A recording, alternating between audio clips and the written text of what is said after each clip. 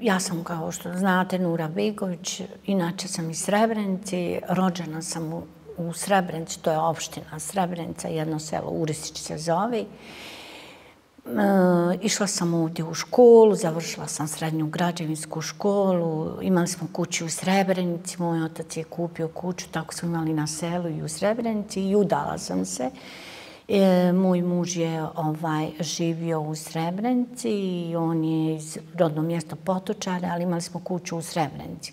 Napravili smo svoju kuću, radili smo u istoj firmi, Moj muž se zove Begović Ahmet. Ovdje smo radili u firmi, zvala se firma Srebrenica Prijevoz. Ja sam imala do rata 13 godina radnog staža. Moj muž je imao više, stariji od meni 5 godina, tako da smo imali tako fin život da ne znam što da kažem. Dobili smo dvije čirke, imali smo dvoje djeci, znači bile su mi čirke i ja kažem, eto, pa su mi bile čirke, pa sam i uspjela da ih prevedim. Ono, kad je ovaj počeo rat i kad je ovdje nas ono sve zadesla ta tragedija i sve to. Živili smo, imali smo svoju kuću, radili smo do, do samog rata, bili smo u ratu tu. Ja sam negdje 93. otišla sa djecom. Oni prvi konvoj kad su ušli. O, govorili su, ne, pala je granata, pa bila sam dobro nešto, pogodio mi jedan geler u, u nogu, imala sam problema, nešto se inficiralo i tako da sam uspjela sa tim ranjenicima i tim, ono, kad je bila ona evakuacija ranjenika do, do Tuzli i djeca su bila mala, a bile su ženska djeca. Znači, bez obzira što je sve to bilo da su bila muška djeca, ta se nije smjelo krenuti u sud se muško da ide sa tim konvojima. Čak ni ranjeni muški nisu bili u konvoju, a neka moli da bi ovaj, ih i onako zdrave mogla odvesti. Ali eto, djeca su bila ženska i tako da sam se odlučila da idem sa njima. Mada isto to bio težak put. Kad smo ovdje došli na žuti most, to je bila kontrola, to je bila masa srpskih policajaca, to su bili naoružani do zuba, pitali su imali neko iz Srebrenice. Koji god bio iz Srebrenice, niko nije smio reći ja sam iz Srebrenice.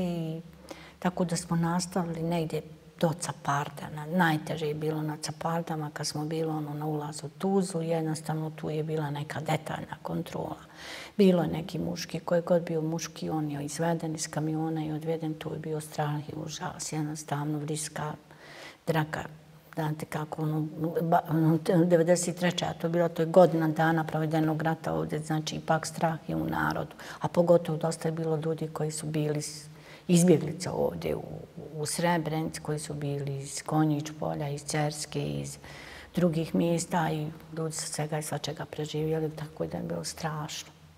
Moj muž, on je ostao tu, naravno, da ne bi smio da kreni, da se usudi da krene, On je ostao, međutim, ja sam bila u Tuzli, ono, bila sam u Bosni i u Tuzli je rat, e, isto to On znate kako, sad dolaziš tu, tu nimaš ti svoje kuće, ništa. Ovdje sam bar bila u svojoj kući, jednostavno nije bila granate, spadale svaki dan, nije bilo krani, likova, struje, ali nekako si se opet osjećao, nekako si imao neki krov nad glavom, pa je da u svakog momenta ti prijeti opasnost. Pa smo ovdje živjeli baš ovdje u Počarima, ovdje nedaleko od memorialnog centra, ali tu smo imali vikend kuću. Mogli smo nešto da usijemo i da radimo.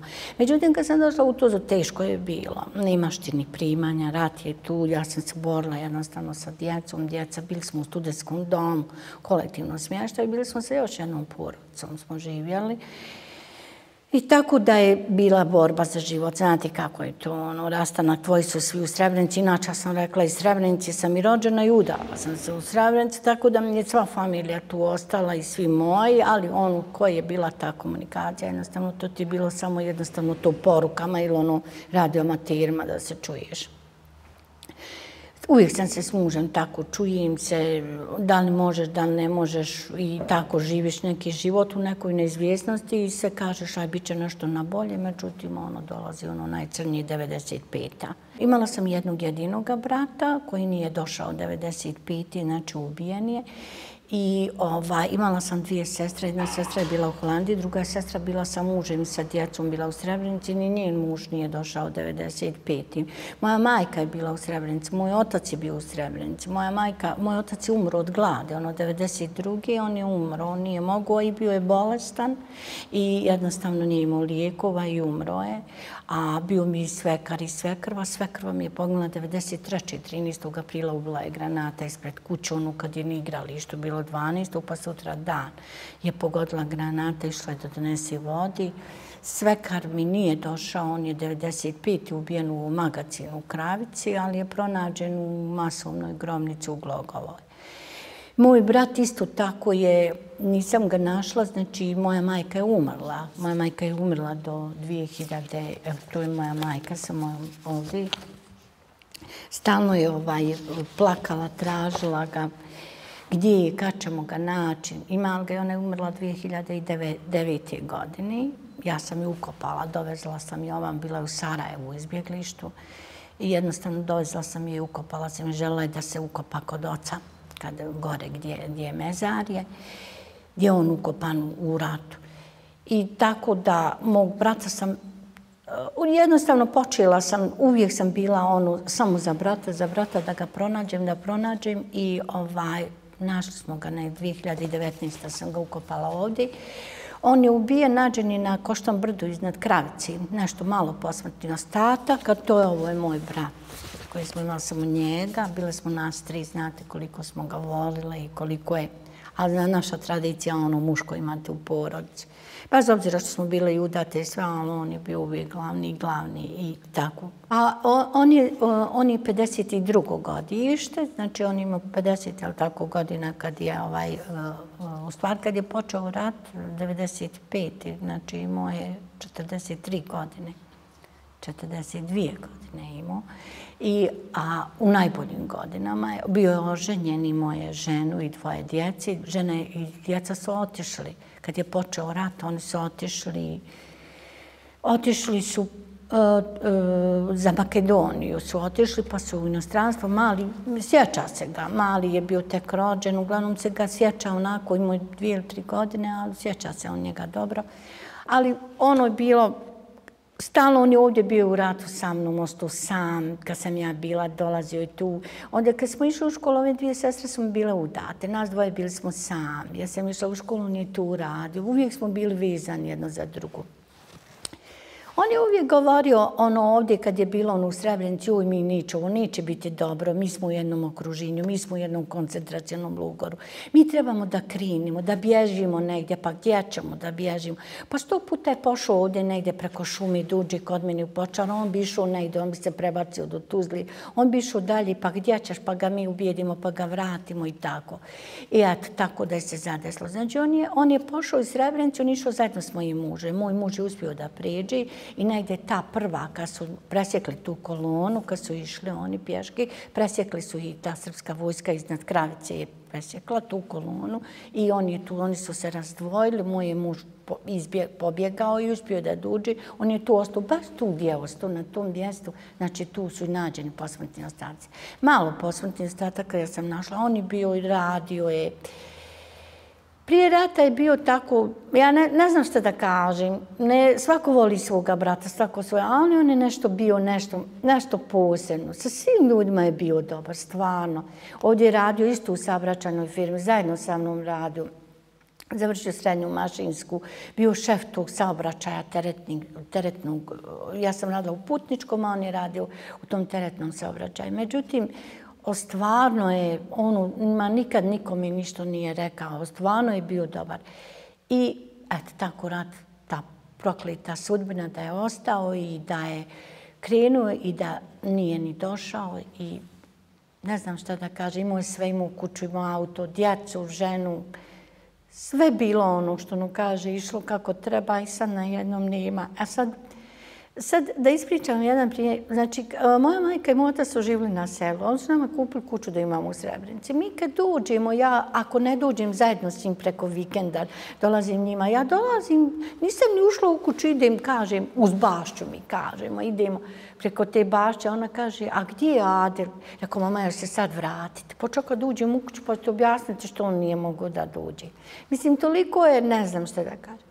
A toliko je plakala, toliko je za njim ono kad je pas Srebrenici što ga nima. I umrla je, nažalost, nije više mogla da izdrži.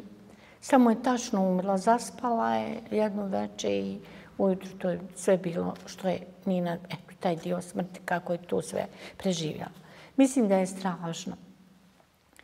Ali ja sam se zarekla da nikad neću odustat, Počela sam da se družim sa svim ženama. Jednostavno u tom udruženju žene Srebrenice same 95. Ja sam odlučila da i budim i da idem i da se borim za ovo što smo se stvarno izborile, nažalost. Ali stvarno da nije bilo majke, se stara, supruga, djece, da se ovako borimo za pravdu i istinu. Mi, mi, mi ništa ovo ne bi dokazali. Ovo bi samo bilo jedno nema i gotovo kraj svemu gledam sad ovaj ovdje memorialni centar, koliko smo se samo puta borile, izborile za ovaj, za ovaj plac ovdje. Znači, ovo je naša, ali to pripada tom entitetu, nažalost, kako su ga podijelili. To su bile velike borbe, to su bile velike muke. Mi smo ovdje dolazili na skupštinu. Mi smo tražili od skupštine kada ovdje nikad nije bilo bošnjaka, kada bošnjačka noga ovdje nije mogla ući, ni stati, mi smo tu pokušavali žene da uđemo. Organizirali smo autobuse, proteste. Danas dan ne držimo te mirne proteste. Ja sam u udruženju Tuzlu koji još uvijek ne odustajemo od toga. Znači, nećemo jednostavno naše ta borba dok god ne pronađemo posljednju zato. Ne pričam samo o svome, ne tražim samo o svoga. Znači, tražim sve te, svim tim porodcama jednostavno pomažem u toj borbi.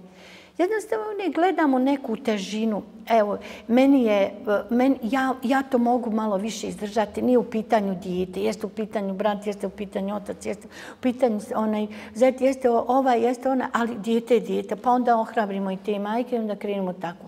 I hoću da kažem da uvijek me ta nosi snaga, jednostavno, jednostavno u, tom, u tome sam svemi, da želim jednostavno da to postigne. Pored tih svih tih muka i svega toga, jednostavno naša je bila borba i da se vratimo. Evo ja sam se vratila i ja živim. Znači ja sam 2002. došla ovdje i ja živim, ja, hvala Boga, eto imam muž, tu je i ja sam sa njim. Jednostavno nekako osjećala sam da, da, da ja mogu tu dosta i želja mi je tu i mogu dosta da doprinesim, a imam i muža pa da se vratimo i da budemo tu i da tu živimo.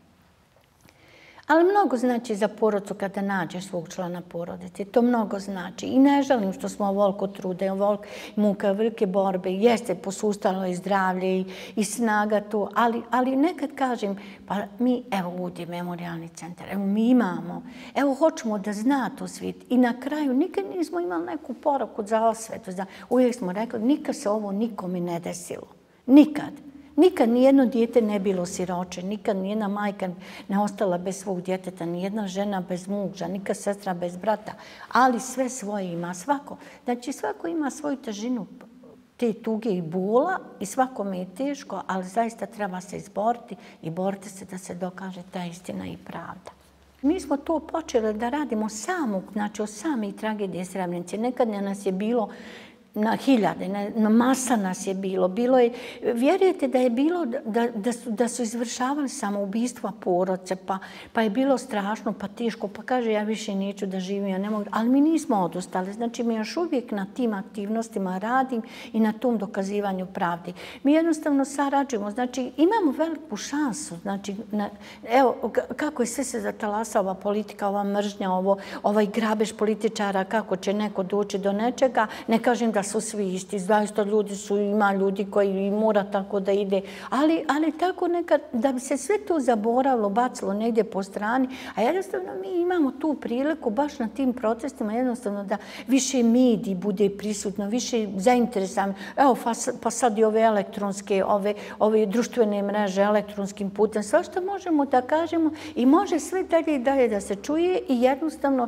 što, što, što jednostavno tražiš neke informacije. Evo recimo, Postoje institucije na osnovu tih naših zahtjeva, na osnovu naših tih protesta, na osnovu priča, porodica. Jednostavno neko se zainteresuje pa kaže trebalo bi formirati tu instituciju, trebalo bi tu raditi napotem. Evo mi hoćemo da kažemo Međunarodna komisija za nestali, pa Međunarodni crveni križ, pa Institut za nestale osobe. Sve to se nekako formiralo tako u, na, na, gledajući to i jednostavno na zahtjev tih porodica. Jes da to ide sporo, jes da to ide teško, jes da, jes da tu postoji neki opet dogovor, jes da usporavaju ovi entiteti i ovo sve što se to razdaja i toga ima tu nešto, ali uglavnom ide. Mi kad sad počnemo da poredimo sine, da kažemo, dževo, evo ti dijete srebrenice i sve da kažemo, mi smo išli u Irak, mi idemo, evo mi imamo sad da kažemo, evo na sljedeći nas ta djeca nastavit će on taj daj neki put.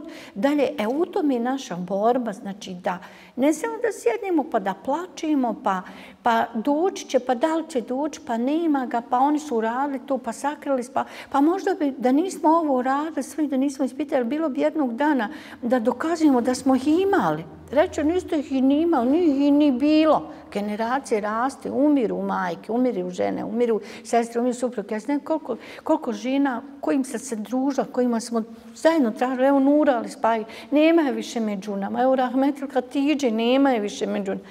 I kažem, pa Bože, mi ovo da nismo ostavili, ovo da, ne, ne, da se ne priča i ovo da nije bila ova snaga u nama, ovo se ništa ne bi ni znalo. A mnogi nas pitaju, recimo, što vi to radite u Tuzli, recimo, zašto to ne radite u Srebrenici, zato, zašto to ne radite ovdje ispred memorialnog centra? Pa kako? Znači, mi još uvijek nemamo, mi još uvijek to ne možemo ovdje da radimo. Da mi tu mirnu šetnu napravimo ovdje, evo, ispred memorialnog centra, baš dole do žutog mosta, znači, ovdje gdje, bila, gdje su bili kamioni, gdje su bili autobusi 95. pa evo i 93. te evakuacija tih kamiona, znači, morao se prvo tu stati imate detaljnu kontrolu, pa ovo ću uzeti, ovaj može prući, ovaj ne može prući. Da bar da tu možemo da, da organizujemo tu mirnu šitnju, pa da organizujemo do žutog mjesta, vratimo kako? Ovdje ako podnesiš taj zahtjev, nikad nam policija ne bi ovdje dozvolila da mi to ovdje radimo. I ako bi dozvolili i morali da nam dozvoli, ja mogu da zamislim koje bi mi neprijatnosti, šta bi mi ovdje doživljavali.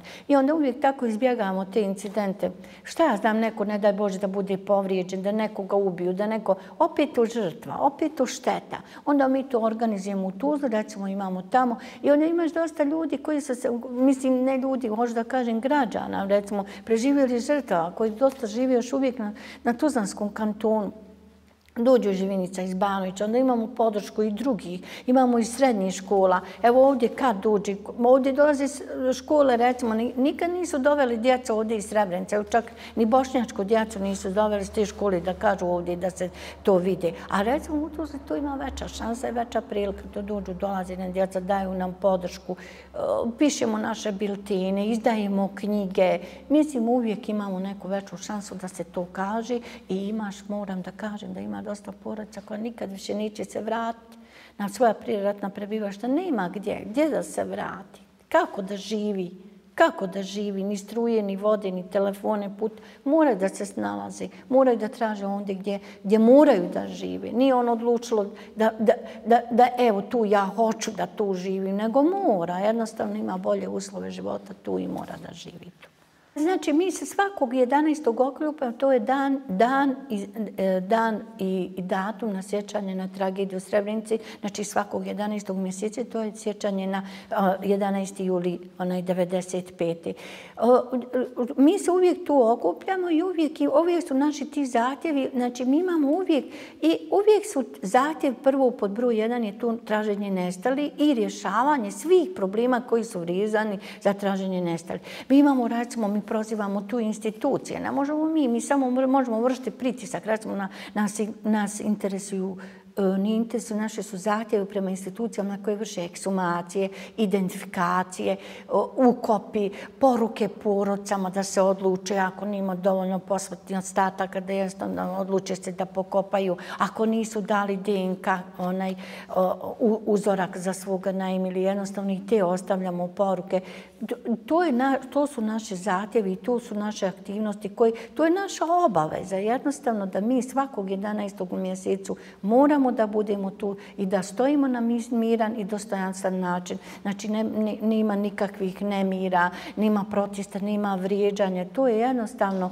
mirni protest koji je onako tačno posvećen nestalim osobama. To jeste ubijenim i ubijenim žrtvama Srebrenice i Ula 95 to, to se nikad nikome i ne može opričati ni objasniti. Jednostavno, mi smo jednostavno počeli da, prvo smo dolazili su neki strani novinari koji su, počeli smo sa tim udruženjima. Mi smo počeli ono pojedinačno da tražimo, da govorimo, pa smo vidjeli da to ne ide, onda smo počeli da se okupljamo, jer jer o, mnogo je, mnogo je ljudi, ne, velika je bol, velika je tuga, kolektivni smještaj su, to je, to je strava i užas. Bez obzira što si protjeran i došao u te mjesta, jednostavno, jednostavno, to je strašno u tim kolektivnim mjestima.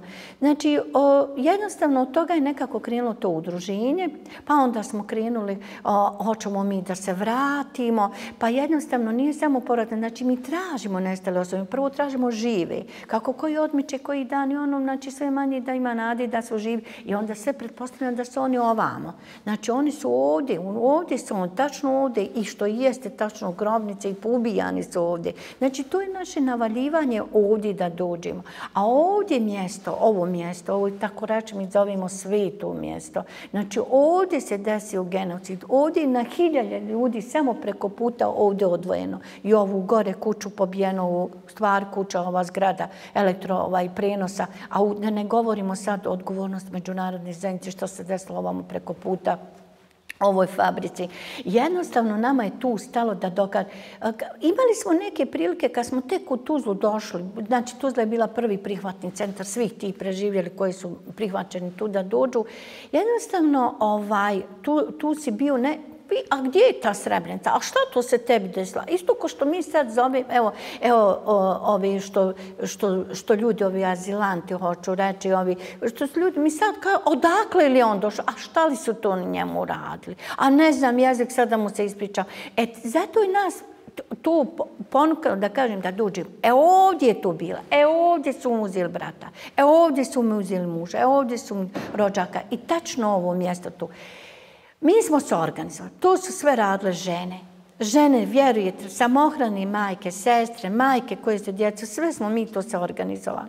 A ni, nismo ni najmanje gledali da li ćemo biti živi. Da vam ne pričam koji su morali te procedure, zatjevi, policiji, pratnja silna. Pa šta mislite kad dođeš, kad se vodiš, voziš iz, iz Tuzli do, do Srebrenice, dva sata, nima ni izaći za autobusa, ima nužne potrebe. Niko ne smije izaći. Znači, glavom ćeš plata potpisan Dayton. Nismo ni znali šta je Dayton. Da smo imali pravo da živimo, da idemo sa svojim autima. To nismo znali. Ne, ali mi smo navaljivali tu jednostavno. To. Među njima sam sve bila prva. Iskreno rečeno, sve sam bila prva. Toliko sam imala snage, toliko sam moći imala. Da stvarno, da, da sam pomagala se. Jednostavno smo ovdje dolazili pa traži dozvolu, pa dolazi visoki predstavnik, pa oni ne daju ovdje i plaća, ovo je bošnjačka zemlja, ne može tu, tu je entitet, to je Republika Srpska, pa mi zahtjev na skupštinu, pa skupština odbija, pa imamo pravo visokom predstavniku za žali, pa visoki predstavnik traži odluku da li pozitivna, da li negativna. On neće da presječe, evo kaže, vi ćete dobiti memorialni centar, nego ja hoću odluku. Pa kad je dobio odluku, pa onda kad imamo pravo na ovaj plat, pa onda kaže evo dozvola na plat. A znate šta smo mi tu sve došli? Znate kad smo ušli u opštinu, na sedam žena, kad, je, kad su pustili himnu Republike Srpske, kad su to pustili i kad smo mi odlučili, ne znam, ni otkud nam snaga, ni otkud nam ta možda kaže, a mi to ne možemo slušati, nećemo izaći, pa ćemo se ponove vratiti. Znači, želili su odmah da mi to napustimo, da ne bi donijeli tu odluku. Jednostavno, to nikad ne mogu znači, a tresu se noge a ušao je neki sa, ne znam, uniformi, vojnoj, srpski, onaj, neki invalid, oni ušu, nema šta nam nije govorio, ja ne mogu govoriti vulgarne riječ, udarao je po stolu, šta ćete ovdje, silovali, protjerali vas, sve smo vam uradili. Esfor stoji ispred opštine, policija Esfora, ali on ne ulaze u opštinu, mi smo ušli tu, tu kantra. Jednostavno odluka je ta ustavila kako jeste, taj visoki predstavnik tada je bio Perić, on je zaista donio odluku i rekao da se to radi. Mnogo znači, ovo mnogo znači za porodice. Ja sad kad dođem, samo mi je žao što moja majka nije dočekala. da dođu ovdje na mezar moga prata jednog jedinog. Kad dođem ovdje svaki put i proučim Vatihu, i njegova žene, i njegova djeca, i moja sestra, nama je nešto lakše. Kažem, evo, evo ima svoje ime prezime, on je bio, to, to, znači njegova se čitava istorija, zna kako i šta i što on ovdje leži. A to mnogo znači za sve porodce. Zaista ne žalimo za ovoliki trud. Stvarno, ni najmanje meni nije žao i mnogim nije žao porodca. Evo ja ću vam pomenuti Rahmeti Hatidžu. Bila sam na, ne, nerazdvojna sa njom. Ona nikoga nije imala. I samo se na jednom razbola, živa istina, nikad. Ona je toliko imala snagu, ona je toliko imala moć. I hoću da kažem, majka Hatidža još na hiljade žena nema više ni ženska, ni muška, ni unučeta, ni nikoga. Ima užije članove porodce, ali drugačije ono, tvoje, tvoje od srca. I njena dva sina uvijek je toliko imala snagu, toliko je borbu. I najmanje je pričala o sebi. Vjerujete li? Vjerujete, kaže, mi majke, mi sestre, mi supruge, mi ćemo ovo da uradimo. Mi ćemo se za ovo da izborimo. Mi ćemo... Nema na kom sastanku nije išla. Nema gdje nije da joj kažeš da ne može. Ona prva zovi. Ako mi onda pa kaže, jel to vi možete da postustanite? Ako ja imam snage i moći, a Boga mi ćete i, i vi imati. I tako se osjetilo, a bilo je dani kad plače i kad plače, ja sam danas krhana, ali ću ja to opet uraditi. Mislim da je tolika snaga. Znam i ne samo nju, i Nuru majku iz Bajramovića, ona je još živa.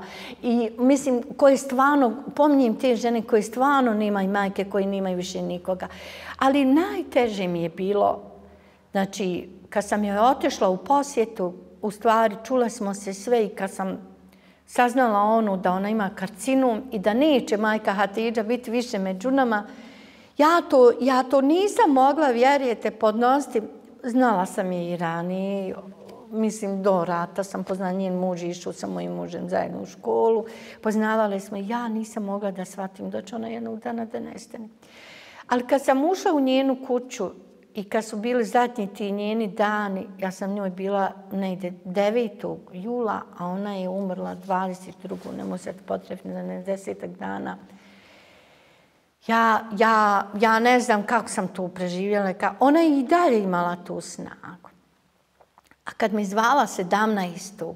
17. znači jula u Trnovo smo išla, ona će za nekoliko dana umrijeti. I kaže, dokle ste vi, Nuro, sad stigle? Sad možete misliti koja je njina snaga, njina borba mila. A ona je već znala da, da neće to. I rekao, samo ti nemoj popit, popit taj lijek što imaš da ga popiješ, a mi ćemo sako Buda vrate, evo blizu smo Trnova. Mislim, obilježavamo ona strateška mjesta. Sad možete misliti kolika je snaga u njemu.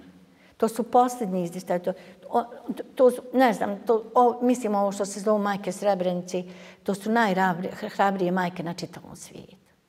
A, ali ali no, ona, nije negdje, ona nije negdje došla, ona nije dobila neke vile, neš, neke ugodne, nju to nije ni interesovalo, više ni neki ugodan e, stambeni smještaj. Ona se vratila ponovo u svoju kuću i onda gdje su I ona tu spava i ona tu živi. Ja znam i gledam po njenoj kući gdje je i Rahmetila Abdullah boravio i njen, njeni Abdullah završio elektrotehničar. Bio. On je, on je stoli, takaj bio majstor za tu elektrotehniku da ga nije bilo jačijeg. Na čitavom svijetu mesec. Ja gledam u te zidove, pa Bože dragi, hoće li se sad opet zatvoriti vrata da više niko ovdje neće živjeti. To mi je bilo najteže živosti. To sam jedva prebrodila. Ja sam došla kuće, sam se, meni govori, Emir, zašto si išla? Znam, ja sam pogodila hitnu, ali to se nikome ne može opisati. Da iko vidi tu majku. Pa ja ne znam iko kako mogu oni ratni zločinci da spavaju. Pa ja ne znam kako može onaj da spava Kad samo zamisli tu majku, koliko je puta gledao, koliko, koliko puta su njihovi vapaj, šta on ima u sebi, zbog čega on ubio tu djecu? Ja ne znam zbog čega. Pa nema tog bogatstva, nema tog da mi neko nešto pokloni, da ja nekoga ubijem za, ne, za, za, za, za neku imovinu, za neku državu, za neku zemlju. Ma nema toga. Kaže, čisto pošteno živi pa na ulici glavicu luk, hljeba pojede, ali časno i pošteno živi. To je život mnogi svijet, recimo, ako, ako ne zna ono što nam se desilo, jednostavno je, za mene je važna, za mene je važna, važna je za, za mene kao osobu koja pričam o tome, jednostavno, i hoću da kažem ono što mi se desilo, jednostavno, i, i hoću da kažem, mislim da će taj svijet da shvati, da kaže, da čuje tu moju priču, jednostavno, i da kaže da, da zaista to nije u redu što je napravljeno toj osobi, znači, da, da, da su mu pobli, da su mi protjerali, da da jednostavno ostaješ bez posla. To se dešava tako na nekoj brzini. Znači, pričam kakav sam imala dobar život do rata, da sam imala sve živu za tako kratko vrijeme, na jednostavno dolazi rat, u ratu nemaš ništa, sve patnje, ubijanje, samo mojiš Boga kad će rat da stane, više ne znaš šta kako, posle rata opet borbe, nigdje ništa nema. I jednostavno tu je poruka, znači tu je dobro da čitav svijet zna I da, I da jednostavno to se može da desi svakome u svijetu. I jednostavno da taj svijet koji je moćan svijet da poradi na tome da više nikad nikome ne dozvoli to što se nama desilo. A jednostavno ja mo, moraš da kažeš, moraš da ono kažeš iz tebi i, i jednostavno nailaziš kroz ove priče i sve i, javi se neka vrsta, neki vrsti pomoć koja može da ti pomogne da riješiš taj svoj neki problem koji je ti zaista se desio ili ti neko nanio. Ja samo kažem, samo da se bude zdravo i mir. Samo mir i mir, sve će se postići, sve će se imati. Samo da ne bude rata i da nikad, nikad ne dočekaju, niko više da ne dočeka ovo što smo mi dočekali. Niko, ne daj Bože da... I uvijek savjetimo taj mladi svijet da nikad nikoga ne mrzi, da nikad nikoga ne ubijaju, da časno i pošteno živi i da pomažu sebi i drugima. To je, to je poruka od svih u nas, od svih preživjeli porodica i poruka od svih majke evo, koji su god ostali bez svog jednog tog člana porodica, koji nemaju ni unuče. Nikad ni jedna nije rekla ja bi uradila, ja bi svoje dijete osvitla, ja ubijaj ovo. Nikad ni jedna. To je taj što, što zaista mi imamo taj neki merhamet u srcu i što imamo to srce takvo, tako odgojeno, tako vaspitano, da zaista volimo čitav, volimo sebi, svoju porodcu, pa i čitav svijet.